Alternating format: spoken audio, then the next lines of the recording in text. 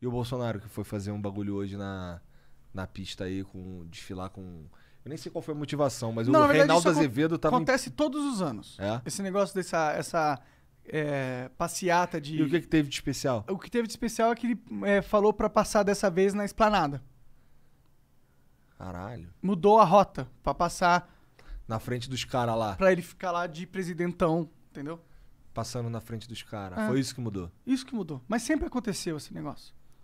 Bom, mas esse- mudar isso aí diz algo também, né? Toma, olha, ó o recado aqui, ó. Tô passando aqui, hein? É, o- é bem preocupante, porque cada vez mais o Bolsonaro tem dado a impressão que ele tá querendo fazer um, dar um golpe.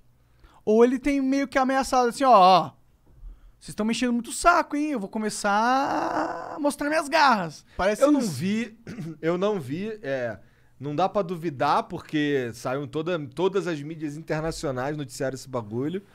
E, e o Reinaldo Azevedo, que, eu- que eu escuto quando eu tô no carro lá, no horáriozinho lá da, da- do É da Coisa, na Band News, é, tava falando inclusive que ele queria, chegou a sugerir que um, ele que falou, um, um caça desse um rasante.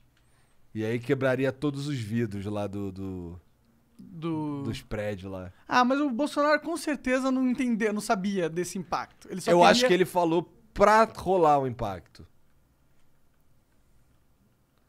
Olha, é possível. Ele pode ter falado só de sacanagem, que nem ele fala um monte de coisa que tu tá claramente vendo que é só de sacanagem e os caras levam a sério. É, eu sei lá, mano. Tipo o lance do jacaré. Tipo, porra, né? Ele não falou aquilo sério. Tem que ser um pouco mau caráter, né? É, é, é uma ideia meio burra, né? Você vai quebrar os vidros do seu, seu próprio palácio? Pois é. Até eu, eu acho que o Bolsonaro não é tão burro assim, mas eu já estive enganado com certas coisas.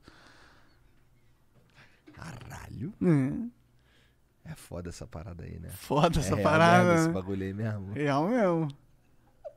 Real mesmo essa parada aí. Ai,